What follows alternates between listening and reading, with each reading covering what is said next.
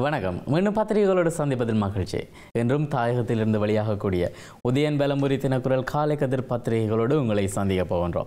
இன்று ஆறாம் திகதி ஜூலை மாதம் ரெண்டாயிரத்தி இருபத்தி ஓராம் ஆண்டு செவ்வாய்க்கிழமை. இன்றைய தினம் உங்கள் எல்லோருக்குமே பாதுகாப்பான இனிய நல்லதொரு நாளாக அமைய நானும் வாழ்த்தி நிற்கின்றேன். முதலில் நாங்கள் உதயன் பத்திரிகையை பார்க்கலாம். உதயன் பத்திரிகையினுடைய தலைப்பு செய்தியாக அமைந்திருப்பது வேகமாக பரவுகிறது டெல்டா பெரும் நெருக்கடிக்குள் நாடு. மூலக்கூறு மருத்துவ பிரிவின் பணிப்பாளர் எச்சரிக்கை. இலங்கையில் பல்வேறு மாவட்டங்களில் டெல்டா கொரோனா வைரஸ் தொற்றாளர்கள் அடையாளம் காணப்பட்டுள்ளனர். இது நாடு மிக பெரும் அச்சுறுத்தல் நிலையில் உள்ளதை எடுத்து காட்டுகிறது. இவ்வாறு ஸ்ரீ ஜெயவர்தனபுர பல்கலைக்கழகத்தின் நோய் எதிர்ப்பு மற்றும் மூலக்கூற்று மருத்துவ பிரிவின் பணிப்பாளரும் மருத்துவ நிபுணருமான சந்திம ஜீவந்திர தெரிவித்தார்.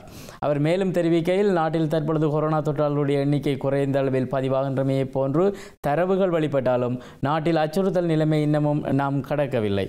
டெல்டா வைரஸ் பரவலின் பெரும் அச்சுறுத்தல் நிலை நாட்டில் காணப்படுவதை எவரும் மறக்க முடியாது. சமூக பரவலாக இது மாறியுள்ளதா என்பதை கண்டறியும் நடவடிக்கைகள் முன்னெடுக்கப்படுகின்றன. அத்துடன் ஆய்வுகளும் தொடர்ச்சியாக முன்னெடுக்கப்பட்டு வருகின்றன. கொரோனா வைரஸ் தொற்று பரவல் குறித்து மக்கள் விழிப்புணர்வுடன் செயற்பட வேண்டிய கட்டாயத்தில் உள்ளார்கள். இதேவேளை டெல்டா பரவல் வைரஸ் குறித்த அதிக தரவுகள் நமக்கு கிடைத்துள்ளன. நாடு மிக பெரும் அச்சுறுத்தலில் உள்ளது என்பதை எம்மால் மீண்டும் தெரிவிக்க முடியும். நாட்டை முடக்குவதா அல்லது நாட்டை திறப்பதா என்பது குறித்து அரசு கொரோனா செயலணி கூட்டத்திலே தீர்மானம் எடுப்பதெல்லாம் ஒருபுறம் இருந்தாலும் சுகாதார தரப்பாக எம்மால் கூற முடிந்தது ஒன்றுதான். மக்கள் தத்தமது பாதுகாப்பை உறுதிப்படுத்திக் கொள்வதே தற்போதைய பரவல் நிலைமையை கட்டுப்படுத்த ஒரே ஒரு வழிமுறையாகும். இதேபோல் மேல் மாகாணம் அச்சுறுத்தல் பகுதியாக அடையாளம் காணப்பட்டுள்ளது.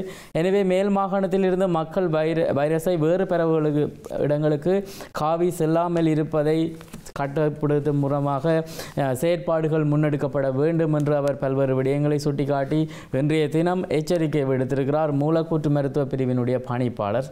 இதன் அடிப்படையிலே என்று பல்வேறு விடயங்கள் சொல்லப்பட்டிருக்கின்றன. எச்சரிக்கைகள் சாவு எண்ணிக்கைகள் இன்றைய முன்பக்கத்திலே பதிவாகியிருக்கின்றன. முக்கியமான விடயம் ஒன்றை நேற்று பகிர்ந்திருந்தோம். ஆன்லைன் மூலமாக ஏ லெவல் பரீட்சைக்கு விண்ணப்பிப்பது தொடர்பான விடயம் ஒன்று நேற்றைய பத்திரிகைகளில் நாங்கள் பார்த்திருந்தோம். இன்றைய பத்திரிகையிலும் அந்த விடயம் சொல்லப்பட்டிருக்கிறது. ஆன்லைனில் மட்டுமே ஏஎல் பரீட்சை விண்ணப்பம். கல்வி பொதுத்தராதர உயர்தர பரீட்சைக்கான அனைத்து அரச தனியார் பாடசாலைகள் அதனுடைய விண்ணப்பதாரிகள் அனைவருமே ஆன்லைன் மூலமாக மட்டுமே விண்ணப்பிக்க முடியும் என்று பரீட்சை திணைக்களம் தெரிவித்திருக்கிறது. நேற்று தொடக்கம் இவ்விண்ணப்பிக்கும் நடைமுறை செயற்படுத்தப்பட்டுள்ளது. அதன்படி எதிர் எதிர்வரும் முப்பதாம் தேதி வரை இணைய வழியாக விண்ணப்பிக்க முடியும். இணைய வழியாக மாத்திரமே விண்ணப்பிக்க முடியும் என்று திணைக்களத்தினுடைய ஆணையாளர் நாயகம் கூறியிருக்கிறார். இதேவேளை உயர்தர பரீட்சை அக்டோபர் நாலாம் தேதி தொடக்கம். முப்பதாம் தேதி வரை நடத்த திட்டமிட்டிருக்கிறதும் குறிப்பிடத்தக்கது என்று அந்த செய்தியிலே குறிப்பிடப்பட்டிருக்கிறது. சாவு எண்ணிக்கை நேற்றைய தினம் முப்பத்தி இரண்டாக பதிவாகி இருக்கிறது ஆனால் புதிய தொற்றாளர்களுடைய எண்ணிக்கை எண்ணூற்று பதினாறாக பதிவாகி இருக்கிறது இது சடுதியாக குறைவடைந்திருக்கிறது. வளமையாகவே ஆயிரத்திலிருந்து ஆயிரத்தி எண்ணூறிலிருந்து அதிகமாகவே காணப்பட்டு கொண்டு வந்தது. ஒரு குறிப்பிட்ட காலத்திலே மூவாயிரத்து ஐநூறை தாண்டி இருந்தது. பின்னர் இரண்டாயிரமாக குறைவடைந்து ஆயிரத்து எண்ணூறிலே தொடர்ச்சியாக நிலைநிறுத்தி வந்து கொண்டிருந்தது. இந்த நேரத்திலே இன்று எண்ணூற்று ஆறாக பதிவாகி இருக்கிறது குறிப்பிடத்தக்கது. இந்த விடயம் சரியான முறையிலே சரியான எண்ணிக்கையிலே பரிசோதனைகள் மேற்கொள்ளப்பட்டு குறைவடைந்திருக்குமாக இருந்தால் அது எமது ஆரோக்கியமான எதிர்காலத்தை காட்டுவதாகவே அமையும். இலங்கையில் கொரோனா வைரஸ் தொற்றுக்குள்ளாகி மேலும் முப்பத்தி ரெண்டு பேர் உயிரிழந்திருக்கிறார்கள் என்று அரச தகவல் திணைக்களம் நேற்று அறிவித்திருக்கிறது. அதன்படி நாட்டிலே கொரோனா தொற்றினால் அஹ், மரணமடைந்தவர்களுடைய எண்ணிக்கை மூவாயிரத்தி இருநூற்று முப்பத்தி ஆறாக உயர்வடைந்திருக்கிறது. நேற்று முன்தினம் சாவடைந்த முப்பத்தி ரெண்டு பேரிலே பதினெட்டு பெண்களும் பதினான்கு ஆண்களும் உள்ளடங்குகிறார்கள். இது வளமையான தரவுக்கு சற்று மாறாக இருக்கிறது. வளமையாக ஆண்களுடைய எண்ணிக்கை அதிகமாக இருக்கிறது.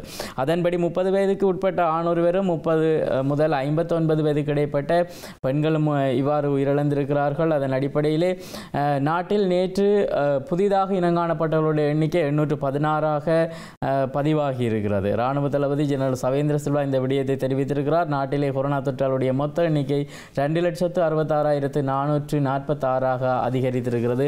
நேற்று எண்ணூற்று பதினாறு புதிய தொற்றாளர்களை தொடர்ந்து. ஒன்பதாயிரத்து நானூற்று அறுபத்தி ரெண்டு பேருக்கு நேற்றைய தினம் தடுப்பூசி போடப்பட்டிருக்கிறது. யாழ்ப்பாணம் மாவட்டத்திலே ஒன்பதாயிரத்து நானூற்று அறுபத்தி ரெண்டு பேருக்கு தடுப்பூசிகள் வழங்கப்பட்டு ஈடுபட்டிருப்பதாக அந்த செய்தியிலே குறிப்பிடப்பட்டிருக்கிறது. அரச மருத்துவ சங்கத்தினருடன் முட்டி மோதும் இராணுவ தளபதி என்கின்ற செய்தி ஒரு கட்டமிடப்பட்ட செய்தியாக தரப்பட்டிருக்கிறது. அரசு மருத்துவ அதிகாரிகள் சங்கத்தினர் இராணுவத்தினர் மீது முன்வைத்திருக்கக்கூடிய குற்றங்கள் ஆதாரமற்றவை. அதனை முழுமையாக நிராகரிக்கிறோம் என்று கொரோனா தடுப்புக்கான தேசிய செயற்பாடு மத்தியத்து மத்திய நிலையத்தினுடைய தலைவர் சவேந்திர சில்வா அவர்கள் தெரிவித்திருப்பதாக அந்த செய்தி தொடர்கிறது. தடுப்பூசி வழங்கும் வேலை திட்டத்திலே வடக்கு மாகாணத்திலே முன்னெடுக்கப்பட்டு வரக்கூடிய ஆடை தொழிற்சாலை ஊழியர்களுக்கான தடுப்பூசி வேலை திட்டத்தில். இலங்கை ராணுவம் இடையூறு விளைவிக்கிறது என்று அரச மருத்துவ அதிகாரிகள் சங்கம் சுகாதார அமைச்சுக்கு கடிதம் ஒன்றை அனுப்பி வைத்துள்ளது. இது தொடர்பாக விளக்கம் அளிக்கையிலே அவர் மேற்கண்டவாறு தெரிவித்திருக்கிறார். கெட் அவுட் சொன்னது மொட்டு குட் பாய் சொல்லுவாரா தயாசிரி என்று கேள்விக்குறையோடு தயாசிரி அவர்களுடைய புகைப்படத்தோடு அந்த செய்தி தரப்பட்டிருக்கிறது. அரசின் தீர்மானங்களை ஏற்க முடியாவிட்டால்.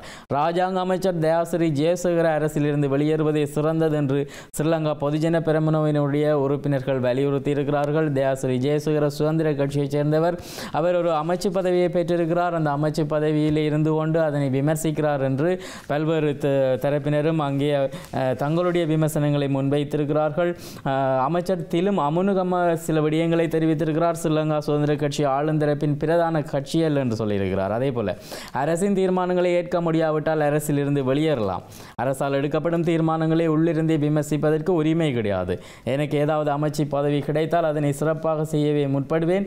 வழங்கப்பட்ட அமைச்சை விமர்சிக்க மாட்டேன் என்று தெரிவித்திருக்கிறார் திலும் அமுனுகம. அதே போல பல்வேறு தரப்பினரும் அவரை அந்த அமைப்பிலிருந்து குறிப்பாக சுதந்திர பொதுஜன பெரமுன கூட்டு கட்சியாக இப்பொழுது ஆட்சி அமைத்திருக்கிறது. சுதந்திர கட்சியினுடைய பங்கு அதில் பெரிய அளவில் இல்லை என்று சொல்லி அவரை வெளியேற்றுவதற்கு சிலர் முயற்சிப்பதாக அந்த செய்தியிலே குறிப்பிடப்பட்டிருக்கிறது. இதுபோன்ற போன்ற இன்னமொரு செய்தி தரப்பட்டிருக்கிறது. அரசுக்குள்ளே உக்கிரமடையும் மோதல் பசிலை சந்தித்து பேச பங்காளி கட்சிகள் தீர்மானம் என்கிற விடயம் தரப்பட்டிருக்கிறது. இது வாசுதேவ நாணயக்கர் தொடர்பான செய்தியாக தரப்பட்டிருக்கிறது. அவருடைய கருத்தாகவே இது அமைந்திருக்கிறது. ஸ்ரீலங்கா பொதுஜன பெரமுனவின் தேசிய அமைப்பாளர் பசில் ராஜபக்ஷவுக்கும் அரசின் பங்காளி கட்சிகளின் தலைவர்களும் இடையே தனிப்பட்ட முறையிலே சந்தித்து பேச்சு நடத்த தீர்மானிக்கப்பட்டிருப்பது என்று இருக்கிறது என்று வாசுதேவ நாணயக்கர் அவர்கள் தெரிவித்திருக்கிறார். இது தொடர்பில் அவர் தெரிவிக்கையில் ஸ்ரீலங்கா பொதுஜன பெரமுனவுக்கும் ஸ்ரீலங்கா சுதந்திர க பொதுஜன பெரமுனவுக்கும் இடையே முரண்பாடுகள் காணப்படுகின்றன. அந்த முரண்பாடுகள் தற்பொழுது தீவிரமடைந்துள்ளன. கூட்டணி கட்சியினுடைய பங்காளி கட்சியினுடைய தலைவர்கள் வசம் இருக்கக்கூடிய பதவிகள் திட்டமிட்ட வகையிலே பறிக்கப்படுகின்றன. கைத்தொழில் அமைச்சர் விமல் வீரவன்சா அமைச்சின் கீழ் இருந்த ஒரு நிறுவனம் எந்த ஒரு காரணமுமின்றி விவசாயத்துறை அமைச்சின் கீழ் கொண்டு செல்லப்பட்டிருக்கிறது. கூட்டணி அமைத்துள்ளோம் என்பதற்காக தவறை சுட்டிக்காட்டாமல் இருக்க முடியாது. பொதுஜன பெருமனுடைய உறுப்பினர்கள் தன்னிச்சையாக செயற்பாடுகளை முன்னெடுத்து பங்காளி கட்சிகளை புறக்கணிக்கும் வகையிலே தங்களுடைய செயற்பாடுகளை முன்னெடுப்பதாக அவர் குற்றம் சாட்டியிருக்கிறார். ஏற்கனவே சில விடயங்கள் இடம்பெற்றிருக்கின்றன வாசுதேவ நாணயக்கார உதய கமன்பில் அதே போல் விமல் வீரவன்ஸ் ஆகியோர் தனித்து சில முடிவுகள் எடுத்திருந்தது. தனித்து சில பங்காளி கட்சிகளுடைய கூட்டங்கள் நடாத்தி இருந்ததும் குறிப்பிடத்தக்கது. இந்த நேரத்தில் அந்நிய செலாவணி காலி திண்டாடுகிறது. அரசு முன்னாள் பிரதமர் ரணில் விக்ரமசிங்க தெரிவித்திருக்கிறார். அரசின் மெய்யான பிரச்சனை அந்நிய செலாவணி கையிருப்பு இன்மை என்று பிரதமர் ரணில் விக்ரமசிங்க தெரிவித்திருக்கிறார். அரசுக்குள் இருக்கக்கூடிய பிர பிரதான பிரச்சனைகளில் உரத்தில் ரசாயனம் கலந்திருப்பதல்ல. உண்மையில் வெளிநாட்டு செலவணி கையிருப்பில் இல்லாமல் போனதே இதுக்கான காரணம் என்று அவர் தெரிவித்திருக்கிறார். இதே போல் வடக்கிலே சில சம்பவங்கள் இடம்பெற்றிருக்கின்றன. நேற்றைய தினம் ஜூலை மாதம் ஐந்தாம் திகதி எல்லோருக்குமே தெரியும். அந்த திகதியிலே சில நிகழ்வுகள் நடாத்த முற்பட்டிருக்கிறார்கள். குறிப்பாக அக்கிராசனின் மாலையை ப பறித்து பீத்த படைகள் அக்கிராயனிலே இந்த சம்பவம் இடம்பெற்றிருக்கிறது. அக்கிராசன் என்பவர் ஒரு குறுநில மன்னராக இருக்கிறார். இவருக்கு ரெண்டாயிரத்தி பதினெட்டாம் ஆண்டளவிலே ஜூலை மாதம் ஐந்தாம் தேதி சிலை அமைக்கப்பட்டு அவர் குறுநில மன்னன் என்கிறபடியால் அவர் கௌரவிக்கப்பட்டு வந்திருக்கிறார். இந்த நேரத்திலே நேற்றைய தினம் கரும்புலி நாள் என்று சொல்லக்கூடிய நாள் இருக்கின்ற காரணத்தால் நேற்றைய தினம் அந்த சிலைக்கு மாலையிட சென்றவர்களுடைய மாலைகள் பீத்தறியப்பட்டிருக்கிறது. இது படைத்த தரப்பினரால் இந்த விடயம் கொல்லப்பட்டதாக சொல்லப்பட்டிருக்கிறது. செய்தியிலே கிளிநொச்சி அக்கராயன் ஆண்டு அக்கராயனை ஆண்ட குறுநில மன்னன் அக்கராயனுக்கு அஞ்சலி செலுத்த முற்பட்டவர்களிடமிருந்து பாதுகாப்பு தரப்பினர் மாலைகளை பறித்து பீத்தெறிந்த சம்பவம் இடம்பெற்றிருப்பதாக சொல்லப்பட்டிருக்கிறது. அதே போல ஏனைய செய்திகளாக கடன் பணத்தை கேட்டவர் மீது கொலைவரி தாக்குதல் கோண்டாவிலே த தந்தையும் மகனும் கைது என்கின்ற விடயம் தரப்பட்டிருக்கிறது. கடன் பணத்தை கேட்டு வீடு தேடி சென்றவர் மீது. வீட்டில் இருந்தவர்கள் கொலைவரி தாக்குதல் நடாத்தி களத்தில் குத்தியதோடு தலையில் அடித்தும் குருதி காயம் ஏற்படுத்தி இருக்கிறார்கள் என்று அந்த கட்டமிடப்பட்ட செய்தியிலே குறித்த நபருடைய காயத்துக்கு உள்ளான நபருடைய புகைப்படத்தோடு அந்த செய்தி தரப்பட்டிருக்கிறது. அரச எதிர்ப்பை உடைக்க நாம் ஒன்றுபடுவது அவசியம். ஆண்டவர் மேல் பழி போட முடியாது என்று செல்வம் எம்பி சுட்டிக்காடு என்று அந்த செய்தி தரப்பட்டிருக்கிறது. நேற்றைய பத்திரிகைகளிலும் இந்த செய்திகளை நாங்கள் பார்த்திருக்கின்றோம். எமது இனத்தை அழிக்க நினைக்கின்ற அரசுக்கு நாம் ஒரு பல பல பலமான சக்தியாக நிலை நிலைக்கு நி- நின்று காட்ட வேண்டும். அதற்காக அனைவரும் ஒற்றுமையாக ஓரணியிலே திரள வேண்டும் என்று செல்வம் அடைக்கலநாதன் அவர்கள் அழைத்திருக்கக்கூடிய விடயம் இடம்பெறுகிறது. தமிழ் தேசிய கட்சிகளை ஒரு அணியிலே திரட்டி அரசுக்கு எதிராக செயல்படுவதென்று அண்மை காலங்களாக கிட கடந்த சில வாரங்களாக டெலோ அமைப்பினர் முன்னின்று செயற்படுகின்றமை குறிப்பிடத்தக்கது. அதன் ஒரு அங்கமாக இந்த செய்தி வெளியாக இருக்கிறது. சம்பிரதாயங்களை மீறி வீடுகள் கட்ட அடிக்கல் என்கின்ற செய்தி ஐந்தாவது பக்கத்திலே தரப்பட்ட செய்தியாக இருக்கிறது. நேற்றைய பத்திரிகைகளிலும் இந்த செய்திகள் தொடர்பாக நாங்கள் பார்த்திருக்கின்றோம். அரசியல் சாயம் பூச முற்பட்டிருக்கிறார்கள். அரசியல் கட்சிகள் சிலர் தாம் தான் அடிக்கல் நாட்ட வேண்டும் என்று சொல்லியிருக்கக்கூடிய விடயங்களை பார்த்திருக்கின்றோம் நேற்றைய பத்திரிகைகளில். எமது நாட்டின் கடல் வளத்தை வேறு நாடுகளுக்கு ஈடு வைக்கும் கோத்தா அரசின் செயற்பாடு வங்குரோத்து தன்மையானதே. வடக்கு கடல் தொழிலாளர்கள் இணையத்தினுடைய தலைவர் ஒரு விடயத்தை சுட்டிக்காட்டியிருக்கிறார். அதே போல சட்டவிரோத மீன்பிடியிலே வெளி மாவட்ட மீனவர்கள் வடமராட்சி கிழக்கு மீனவர்கள் கவலை வெளியிட்டிருக்கிறார்கள். அதே போல சுகாதாரத்துறையினர் போர் தடுப்பூசி ஏற்றுவதிலே தாமதம் சாவச்சேரி மக்கள் ஆதங்கம் வெளியிட்டிருக்கிறார்கள். இது தொடர்பாக இவ்வாறான செய்திகளோடு இன்றைய உதயன் பத்திரிகையினுடைய முக்கிய செய்திகள் நாங்கள் பார்த்திருக்கின்றோம். மதுபான உற்பத்தியை ஊக்குவிக்கிறது அரசு. ஐக்கிய மக்கள் சக்தி இதனை குற்றம் சாட்டியிருக்கிறது. குடும்ப ஆட்சியை நடத்த ராஜபக்ஷக்கள் அதி தீவிரம். ஐக்கிய மக்கள் சக்தி இந்த குற்றத்தினை சுமத்தி இருக்கிறது புலிகளின் தலைவர் பிரபாகரன் வெற்றிகரமான இராணுவ தலைவர் எரிக் சொல்கையும் இந்த விடயத்தை தெரிவித்திருக்கிறார். இவை இன்றைய உதயன் பத்திரிகையில் இருக்கக்கூடிய முக்கிய செய்திகளாக இருக்கின்றன. தொடர்ந்து நாங்கள் வெலம்புரி பத்திரிகையை பார்க்கலாம். வெலம்புரி பத்திரிகையினுடைய தலைப்பு செய்தியாக இடம்பெற்றிருப்பது எதிர்வரும் செப்டம்பர் மாதம் நாடு முழுமையாக திறக்கப்படும். ஜனாதிபதி கோட்டா நம்பிக்கை. எதிர்வரும் செப்டம்பர் மாதம் ஆகும்போது நாட்டை முழுமையாக திறக்கக்கூடியதாக இருக்கும் என்று ஜனாதிபதி கோட்டபாய ராஜபக்ஷ நம்பிக்கை வெளியிட்டிருக்கிறார். உதயன் பத்திரிகையின் தலைப்பு செய்தி வேகமாக பெறவுகிறது டெல்டா பெரும் நெருக்கடிக்குள் நாடு. இது முன்னுக்கு பின்னான கருத்தை கருத்தை வெளிவிப்பதாக இன்றைய பத்திரிகைகளிலே தலைப்பிடப்பட்டிருக்கிறது. ஜனாதிபதி செயலகத்திலே நேற்று இடம்பெற்றிருக்கக்கூடிய தொன்னூற்றி ஒன்பதாவது சர்வதேச கூட்டுறவு தினத்தை முன்னிட்டு இடம்பெற்ற விசேட நிகழ்வில் கலந்து கொண்டு உரையாற்றிய போதே ஜனாதிபதி இந்த விடயத்தை தெரிவித்திருக்கிறார். இலங்கையில் இடம்பெற்ற போரிலே பாரிய குற்றங்கள் இடம்பெற்றன. இலங்கைக்கான முன்னாள் சமாதான தூதுவர் எரிக் சொல்ஹேம் இந்த விடயத்தை தெரிவித்திருக்கிறார். நோர்வே மற்றும் இலங்கைக்கான தூதுவராக அவர் செயற்பட்ட காலத்திலே தமிழீழ விடுதலை புலிகளுக்கும் அரசுக்கும் இடையிலான போர் நிறுத்தம் தொடர்பாகவும் சமாதான பேச்சுவார்த்தை தொடர்பாகவும் முன்னின்று செயலாற்றியவராக எரிக் சொல்ஹேம் இருந்து வந்திருக்கிறார். இலங்கை ஆயுதப்படைகள் அதிக மக்களை மக்கள் தொகை கொண்ட பகுதிகளில் குண்டு வீச்சு நடாத்தின. மருத்துவமனைகளும் இலக்கு வைக்கப்பட்டன என்கின்ற விடயங்கள் அந்த அவர் குறிப்பிட்டு சொல்லக்கூடிய மேலும் சில விடயங்களாக இருக்கின்றன. கொரோனா பதினெட்டு பெண்கள் உட்பட மேலும் முப்பத்தி ரெண்டு பேர் பலி நேற்றைய தினம் இடம்பெற்றிருக்கக்கூடிய பலியாக இது திகழ்கிறது. இது தொடர்பாக விரிவாக பார்த்திருக்கின்றோம். அச்சுவேலியிலே மோட்டார் குண்டு ஒன்று மீட்கப்பட்டிருக்கிறது. அது தொடர்பான புகைப்படம் இணைக்கப்பட்டதாக முன்பக்கத்திலே ஒரு செய்தி தரப்பட்டிருக்கிறது. அதே போல அக்கிராசனுக்கு வணக்கம் செலுத்த முயற்சி. முயற்சி அக்கிராயனிலே பதட்டம் என்கின்ற விடயம் சொல்லப்பட்டிருக்கிறது. அங்கே இருக்கக்கூடிய தரப்பினுடைய புகைப்படங்கள் இணைக்கப்பட்டிருக்கின்றன. கிளிநொச்சி அக்கிராயனை ஆண்ட குறுநில மன்னன் அக்கிராசனுக்கு வணக்கம் செலுத்த முற்பட்டவர்களிடமிருந்து பாதுகாப்பு தரப்பினர் மாலையை பறித்தறிந்த சம்பவத்தால் அக்கிராயனிலே நேற்று பதற்றமான சூழல் ஏற்பட்டதாக சொல்லப்படுகிறது. நாற்பத்தி ரெண்டு லட்சத்துக்கு மேற்பட்டோருக்கு நாட்டில் கோவிட் பத்தொன்பது தடுப்பூசி ஏற்றப்பட்டுள்ளதாக ஒரு செய்தி தரப்பட்டிருக்கிறது. அதே போல ஐம்பத்தைந்து யாழ் மாநகர எல்லைக்குள்ளே புதிய தொற்றாளர்களாக இனங்காணப்பட்டிருக்கிறார்கள். ஐம்பத்தி ஐந்து பேர் மருத்துவ சேவையாளர்கள் பணி புறக்கணிப்பு வடக்கில் தடுப்பூசி ஏற்றும் நடவடிக்கைகள் இராணுவத்தினரால் முன்னெடுப்பு மக்கள் முண்டியடித்து பங்கேற்பு என்கின்ற விடயங்கள் சொல்லப்பட்டிருக்கிறது. முன்பக்கத்திலே ஏன ஏனைய செய்திகளாக யாழிலே ஒன்பதாயிரத்து நானூற்று அறுபத்தி ரெண்டு பேர் தடுப்பூசியை பெற்றனர். நல்லூரில் அதிகளவாக ரெண்டாயிரத்து நூற்று ஐம்பத்தி ரெண்டு பேர் பங்கு பெற்றினர் என்று அந்த செய்தியிலே குறிப்பிடப்பட்டிருக்கிறது. கோவிட் எண்ணிக்கை நேற்றைய தினம் புதிய தொற்றாளர்கள் நாடளாவிய ரீதியிலே எண்ணூற்று பதினாறு என்று நாங்கள் ஏற்கனவே பார்த்த செய்தி தரப்பட்டிருக்கிறது. பேச்சுவார்த்தை தோல்வி பொது சுகாதார பரிசோதகர்கள் தொடர் பணி புறக்கணிப்பு என்கின்ற செய்தியும் முன்பக்கத்திலே இடம் பிடித்திருக்கிறது. நாடு முழுவதும் பொது சுகாதார பரிசோதகர்கள் பணி புறக்கணிப்பில் ஈடுபட்டுள்ளனர். நாடு முழுவதிலும் கொரோனா தடுப்பூசி ஏற்றும் நிலையிலே இவர்களுடைய பணி புறக்கணிப்பு மக்களிடையே கடும் அசௌகரியத்தை ஏற்படுத்தி இருப்பதாக சொல்லப்படுகிறது. இவை இன்றைய விளம்பரி பத்திரிகையின் முன்பக்க செய்திகள். உட்பக்க செய்திகளிலே இந்தியாவின் மிகப்பெரிய கொடிய டெல்டா வைரஸ் அடுத்து வரும் பதினான்கு நாட்களில் இலங்கை முழுவதும் பெறவும் வைரஸ் தொடர்பான ஆய்வுப் பணிகளில் ஈடுபட்டிருக்கக்கூடிய பேராசிரியர் மலிக் பீரிஸ் இந்த எச்சரிக்கையை விடுத்திருக்கிறார். இந்தியாவில் திரிவு பெற்று இரண்டாவது அலையாக உருவெடுத்து பேரவலத்தை ஏற்படுத்திய டெல்டா வைரஸ் இலங்கையில் அடுத்து வரும் பதினான்கு நாட்களில் தீவிரமடையும் ஆபத்துள்ளதாக சார்ல்ஸ் வைரஸ் தொடர்பான ஆய்வுப் பணிகளில் ஈடுபட்ட பேராசிரியர் மலிக் பிரிஸ் தெரிவித்திருக்கிறார். அதேபோல இலங்கையில் இடம்பெற்றிருக்கக்கூடிய போரிலே பாரிய குற்றங்கள் இடம்பெற்றதாக எரிக் சொல்ஹீம் அவர்கள் தெரிவித்திருக்கக்கூடியதாக ஒரு கட்டுரை இடம்பெற்றிருக்கிறது. சட்டவிரோத செயற்பாடுகளிலே சிறுவர் தொழிலாளர்கள் ஈடுபடுத்தப்பட்டு வருகிறார்கள். இன்னமும் அந்த விடயங்கள் இடம்பெறுகின்றன. இது தொடர்பாக அக்கறை எடுக்கும்படி சொல்லப்பட்டிருக்கிறது.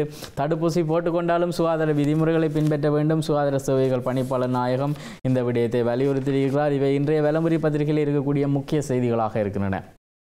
தொடர்ந்து தினக்குரல் பத்திரிகையை பார்க்கலாம். தினக்குரல் பத்திரிகையினுடைய தலைப்பு செய்தியாக சர்வதேச ரீதியிலே நாட்டுக்கு தோல்வி.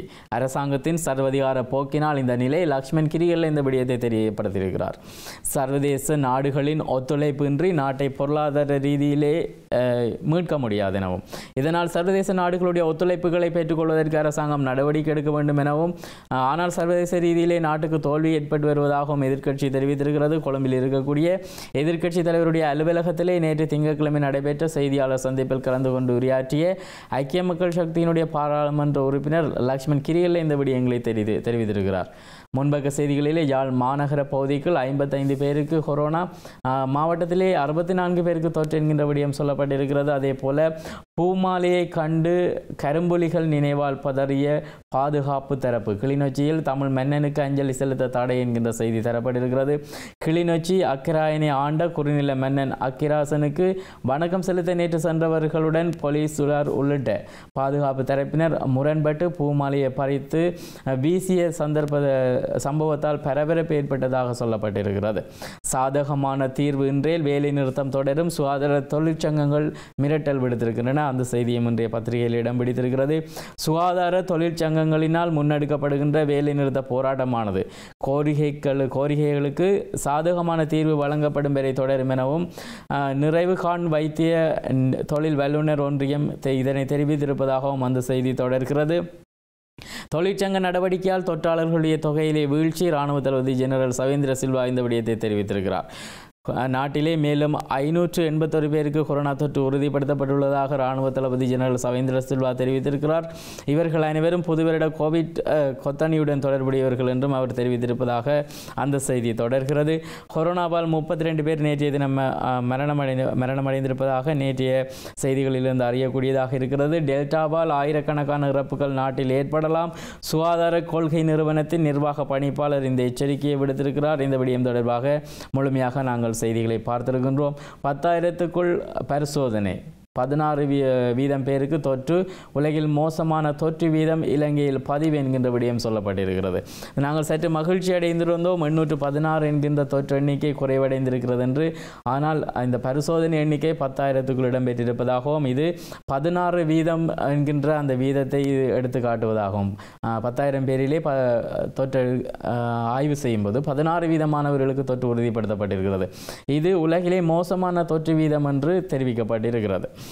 நாடு பேராபத்துக்குள் தள்ளப்படும் நிலை பிரதி சுகாதார பணிப்பாளர் நாயகம் இந்த விடயத்தை தெரிவித்திருக்கிறார். அதனை தொடர்ந்து நாங்கள் பார்ப்போமாக இருந்தால் சுகாதாரத்துறையுடன் தொடர்புடைய தொழிற்சங்கங்களுடைய போராட்டங்களினால் நாட்டிலே கோவிட் பத்தொன்பது நிலைமை இன்னும் மோசமடையும் என்றும் அவர் தெரிவித்திருக்கிறார். அதே போல் தமிழர் தாயகத்தை விட்டு சீனாவை வெளியேறச் சொல்கிறோம். காணாமலாக்கப்பட்டவர்களுடைய உறவுகள் இந்த போராட்டத்தில் ஈடுபட்டிருக்கிறார்கள். ஆயிரத்து அறுநூறாவது நாள் போராட்டத்துக்குரிய புகைப்படம் இணைக்கப்பட்டிருக்கிறது. காணாமலாக்கப்பட்ட தமிழ் குழந்தைகளின் தாய்மார்களாகிய நாங்கள் சீனாவை தமிழர் தாயகத்தை விட்டு வெளியேறச் சொல்கிறோம் என காணாமலாக்கப்பட்டோரின் உறவினர்கள் தெரிவித்திருப்பதாக அந்த செய்தி தொடர்கிறது. உரம் கேட்டால் சிறைக்கு வர வரம். ஜேவிபி தலைவர் அஹ், அனுரகுமார குற்றச்சாட்டு என்கின்ற ரீதியிலே ஒரு செய்தி தரப்பட்டிருக்கிறது. போராட்டம் நடத்தும் விவசாயிகளை கைது செய்யும் நடவடிக்கை அரசாங்கம் ஈடுபட்டிருப்பதாக ஜேவிபியினுடைய தலைவர் அனுரகுமர அனுரகுமார திசநாயக்க குற்றம் சாட்டியிருக்கிறார். யாழ்ப்பாண செஞ்சிலுவை சங்கம் வழங்கிய பதிமூன்று மில்லியன் நிவாரண நிதி யாருக்கு பகிரப்பட்டது தம்மிடம் விவரமில்லை என்கிறது. மாவட்ட அனர்த்த முகாமை பிரிவு என்ற அந்த செய்தி தரப்பட்டிருக்கிறது. யாழ் மாவட்டத்திலே. நிவர்புறவி புயல் அனர்த்தங்களால் பாதிக்கப்பட்டவர்களுக்கு வழங்கப்படும் என யாழ்ப்பாண செஞ்சிலுவை சங்கத்தினரால் ஒதுக்கப்பட்ட பதிமூன்று மில்லியன் ரூபாய் நிவாரண நிதி உண்மையில் பாதிக்கப்பட்டவர்களுக்கு முறையாக சென்று சேர்ந்ததா என்பது குறித்து சந்தேகம் வெளியிடப்பட்டிருப்பதாக அந்த செய்தி தொடர்கிறது இவை இன்றைய தினக்குரல் பத்திரிகையில் இருக்கக்கூடிய முன்பக்க செய்திகளாக இருக்கின்றன. தினக்குரல் பத்திரிகையின் உட்பக்க செய்திகளை பார்க்கலாம். மேலும் இறக்குமதி கட்டுப்பாடு வராது என்கிறார். நிதி ராஜாங்க அமைச்சர் அஜித் நிவால் காப்ட்ரால் என்ற ஒரு செய்தி தரப்பட்டிருக்கிறது. வேலை நிறுத்தத்தால் பொதுமக்களுக்கு ஏற்படும் சிரமங்களுக்கு சுகாதார அதிகாரிகளை பொறுப்பு. சுகாதார பரிசோத சங்கம் இந்த இந்த விடயங்களை தெரிவித்திருக்கிறது. அதே போல ஜாலிலே இரண்டாம் கட்டம் ஒன்பதாயிரத்து நானூற்று அறுபத்தி ரெண்டு பேருக்கு தடுப்பூசி வழங்கப்பட்டிருக்கிறது. யுத்தத்துக்கு முக்கிய காரணமான தமிழ் தேசிய பிரச்சினைக்கு தீர்வு காணப்படவில்லை. எரிக் செல்கோயும் கூறுகிறார் அவருக்கு அவருடைய நேர்காணல் இணைக்கப்பட்டிருக்கிறது. வீட்டு திட்டம் தொடர்பான தொடர்ச்சியான முறைப்பாடுகள் மீளவும் சீர் செய்யுமாறு அரசு அதிபர் பிரதேச செயலர்களுக்கு அறிவித்தல் விடுத்திருக்கிறார். அதே போல முல்லைத்தீவு மாவட்டத்திலே அறுபதாயிரம் பேருக்கு கொரோனா தடுப்பூசி தேவை. பிராந்திய சுகாதார சேவைகள் பணிமனை இந்த விடயத்தை தெரிவித்திருக்கிறது. பசிலின் பாராளுமன்ற வருகை அதிருப்தியில் அமைச்சர்கள் என்கின்ற விடயம் சொல்லப்பட்டிருக்கிறது. இரண்டு மாத காலத்துக்குள் நாடு வளமைக்கு திரும்பும் என்கின்ற விடயங்கள் சொல்லப்பட்டிருக்கின்றன. இன்றைய தரவுகளை பார்க்கும் பொழுது அல்லது இன்றைய செய்திகளை பார்க்கும் பொழுது அரசு தெரிவிப்பதற்கும் மருத்துவத்துறையில் இருப்பவர்கள் தெரிவிப்பதற்கும் இடையே முற்றிலும் மாறுபட்ட கருத்துக்கள் நிலவுகின்றன. செப்டம்பர் மாதம் வரைக்கும் கட்டுப்பாடுகள் தொடரும். ஜனாதிபதி கோட்டபாய நேற்று அறிவிப்பு என்கின்ற விடயம் தரப்பட்டிருக்கிறது. புகைப்படங்கள் இணைக்கப்பட்டிருக்கிறது. அதே இல்லை ஜனாதிபதி பந்துல குணவர்த்தன் ஆகியோர் அந்த புகைப்படத்தில் இடம்பெறுகிறார்கள். எதிர்வரும் செப்டம்பர் மாதம் ஆகும்போது நாட்டை முழுமையாக திறக்கக்கூடியதாக இருக்கும். அது வரைக்கும் கொரோனா தடுப்புக்கான கட்டுப்பாடுகள் தொடரும். இவ்வாறு ஜனாதிபதி கோடபாய ராஜபக்ஷ தெரிவித்திருப்பதாக காலைக்கதிர் பத்திரிகையினுடைய தலைப்பு செய்தி தரப்பட்டிருக்கிறது. காலைக்கதிர் பத்திரிகையின் முன்பக்க செய்திகளிலே பணி புறக்கணிப்பு போராட்டத்தால் பிசிஆர் பரிசோதனை முடிவுகள் தாமதம். நேற்று எண்ணூற்று பதினாறு பேருக்கு மட்டுமே கொரோனா தொற்று உறுதி செய்யப்பட்டிருப்பதாக சவேந்திர சில்வா அவர்கள் தெரிவித்திருக்கக்கூடியதாக அந்த செய்தி தரப்பட்டிருக்கிறது. ஜாழ் மாவட்டத்திலே இரண்டாம் கட்ட தடுப்பூசி ஏற்றும் பணிகள் ஆரம்பம். நேற்று ஒன்பதாயிரத்து நானூற்று அறுபத்தி ரெண்டு பேருக்கு முதலாவது டோஸ் என்கின்ற செய்தி தரப்பட்டிருக்கிறது. மேலும் முப்பத்தி ரெண்டு பேர் மரணம். கொரோனா காவு மூவாயிரத்து இருநூற்று அறுபத்தெட்டாக உயர்வடைந்திருக்கிறது. ரிஷார்ட்டின் மனுவை பரிசீலித்த நான்காவது நீதியரசரும் விலகல் என்கின்ற செய்தி தரப்பட்டிருக்கிறது. அகில இலங்கை மக்கள் காங்கிரஸின் தலைவரான நாடாளுமன்ற உறுப்பினர் ரிஷாட் பதுதீனின் அடிப்படை உரிமை முறல் மனுவை பரிசீலனைக்கு உட்படுத்துவதிலிருந்து நான்காவது நீதியரசரும் விலகி கொண்டிருப்பதாக அந்த செய்தி தரப்பட்டிருக்கிறது. அவருடைய தனிப்பட்ட விடுமுறை காரணமாக நேற்றைய தினம் அந்த வழக்கு தள்ளி வைக்கப்பட்டிருப்பதாக சமூக வலைத்தளங்களிலே அவர் தொடர்பாக வாதாடக்கூடிய சட்டத்திறனிகள் பதிவேற்றி வைத்திருந்தார்கள். கத்தை குத்துக்கு இலக்காகி இருப்பதாக ஒரு செய்தி இணைக்கப்பட்டிருக்கிறது. ஆனால் பத ஏனைய பத்திரிகைகளிலே தாக்குதல் மேற்கொள்ளப்பட்டிருக்கிறது. கழுத்திலும் முகத்திலும் தலையிலும் காயம் ஏற்படுத்தப்பட்டிருப்பதாக சொல்லப்பட்டிருக்கிறது. காலைக்கதிர் பத்திரிகையிலே கத்திக்குத்து என்கின்ற ரீதியிலே அந்த செய்தி தரப்பட்டிருக்கிறது. கொடுத்த கடனை திருப்பி கேட்க சென்றவர் மீது தந்தை மானும் சேர்ந்து தாக்குதல் நடத்தி இருப்பதாக நேற்றைய தினம் நாங்கள் அறிந்திருந்தோம். அது இன்றைய செய்திகளிலே பதிவாகி இருக்கிறது இந்த கத்தி தொகை குத்து தொடர்பாக உறுதிப்படுத்தப்படாத செய்தியாகவே அந்த விடயம் இருக்கிறது. வெடிக்காத மோட்டார் குண்டு அச்சுவேலியிலே நேற்று மீட்கப்பட்டிருப்பதாக புகைப்படத்தோடு செய்தி தரப்பட்டிருக்கிறது. கிளிநொச்சி அக்கராயனிலே அக்கிராசனுக்கு வணக்கம் செலுத்த தடை விதித்த போலீசார் என்கின்ற செய்தியும் அங்கே எடுக்கப்பட்ட புகைப்படமும் அங்கே அமைதியின்மை ஏற்படுத்தக்கூடியதாக அந்த புகைப்படத்திலே பார்க்கக்கூடியதாக இருக்கிறது.